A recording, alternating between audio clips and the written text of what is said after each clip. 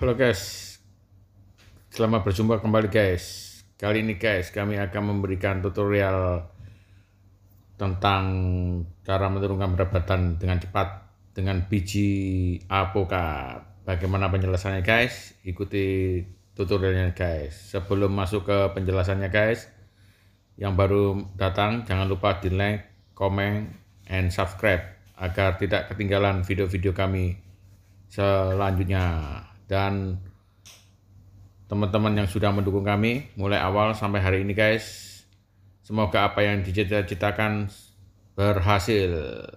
Begini guys penjelasannya guys. Pertama-tama kita kupas kulit dari biji apokat ini guys.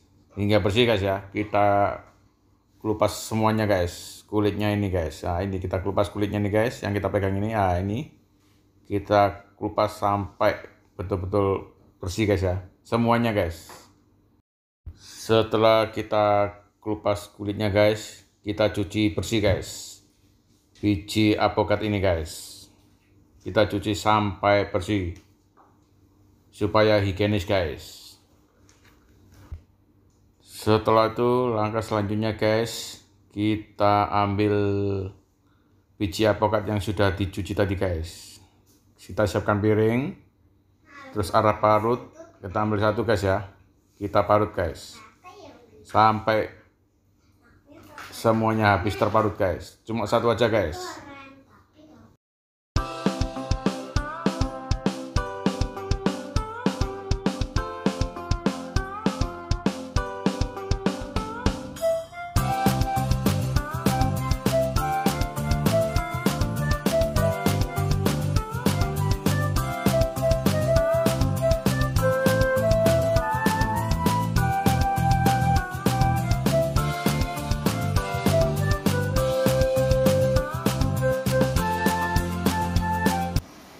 Oke guys, kita parut guys ya sampai semuanya terparut guys. Kita parut guys ya.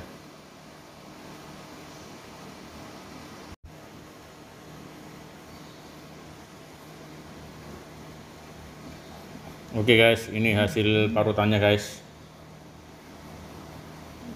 Hasil dari parutan apokatnya guys. Bisa dilihat guys parutan ini kecil-kecil guys. Jangan terlalu besar guys.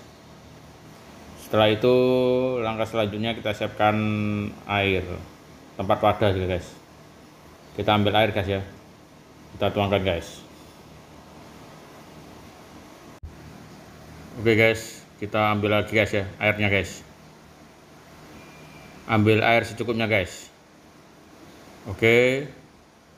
Secukupnya aja guys ya kita ambil air secukupnya guys. Oke setelah itu guys baru kita taruh di kompor guys. Kita masak guys. Kita nyalakan kompornya guys ya. Tunggu sampai mendidih guys. Setelah airnya mendidih guys baru kita matikan guys kompornya guys. Kita matikan guys ya Oke, setelah itu kita ambil parutan apokat tadi guys, satu setengah guys ya, satu sendok setengah guys. Oke, ini setengahnya guys. Oke, setelah itu guys, baru kita tuangkan air yang matang tadi guys, yang mendidih guys, ke dalam gelas ini guys. Kita tuangkan guys ya. Setelah itu kita aduk guys sampai airnya berubah menjadi oranye ini guys nanti guys.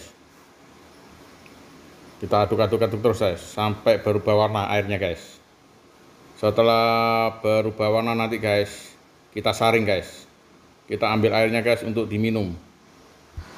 Minuman ramuan teh herbal apokat ini guys dua kali sehari pagi dan malam hari. Karena biji apokat ini guys memiliki kandungan serat yang cukup tinggi guys untuk menjaga agar perut tetap kenyang guys sepanjang hari secara alami maka tubuh akan terus mengalami penurunan secara normal kabar baiknya lagi guys selain membantu perut tetap kenyang biji apokat juga punya sumber kalsium yang baik untuk mempercepat penurunnya lemak guys. Oke guys, sampai di sini penjelasan dari kami guys. Semoga penjelasan ini bermanfaat dan berguna bagi semuanya. Thank you.